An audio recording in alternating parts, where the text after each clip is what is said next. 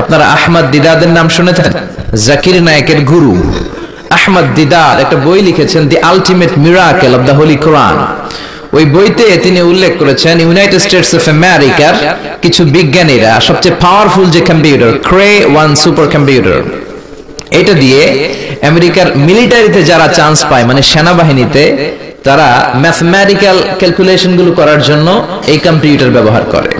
তো আমেরিকার বিজ্ঞানীরা আহমদ দিদার তার আলটিমেট মিরাকেল অফ দ্য হলিকরণে বলছেন যে কম্পিউটারের সব ইনফরমেশন গুলোকে কনসাইজ করে ওই ক্রেওয়ান সুপার কম্পিউটারের মাইক্রো চিপসের ভেতর ঢুকিয়ে কমান্ড করেছে is it possible to create a book like Quran O computer তুমি অ্যানালাইসিস করে বলো, এই কোরআনের মতো আরেকটা বই কি পৃথিবীর মানুষের বানানো সম্ভব? আপনারা বলছেন জিনা কিন্তু কম্পিউটার বলছে ইয়েস সম্ভব। It's possible it's possible but you need to spend more than sixty three octillion years সম্ভব! কিন্তু পৃথিবীর সব মানুষদেরকে তেষট্টি অক্ট্রিলিয়ন বছর বেঁচে থাকা লাগবে আর চেষ্টা করা লাগবে। এটা শুনে বিজ্ঞানীরা তো মহা খুশি, হোক না অক্ট্রিলিয়ন আর ফক্ট্রিলিয়ন পারাতে যাবে। কিন্তু নিউমেরিক্যাল সায়েন্স বলে যে octillion is very dangerous to reach there octillion হচ্ছে এমন একটা সংখ্যা যেটা পর্যন্ত পৌঁছা মানুষের পক্ষে অসম্ভব।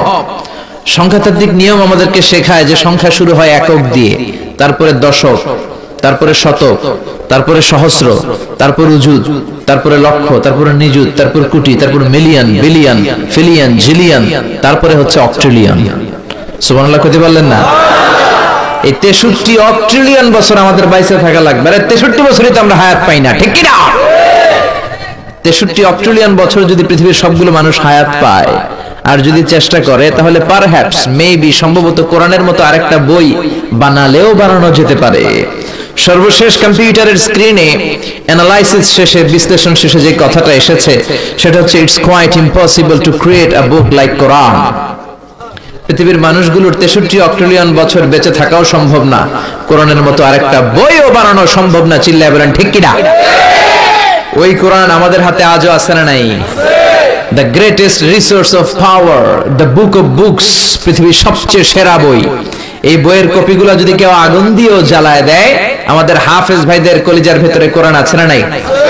যদি আগুন লেগে ধ্বংস হয়ে যায়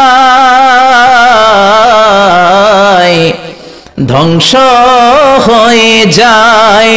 যদি আগুন লেগে যায়, পুড়ে যায়, পৃথিবীর সব বইয়ের দোকান বিশ্ব থেকে হারাবে না, পবিত্র কোরআন বিশ্ব থেকে হারাবে না, পবিত্র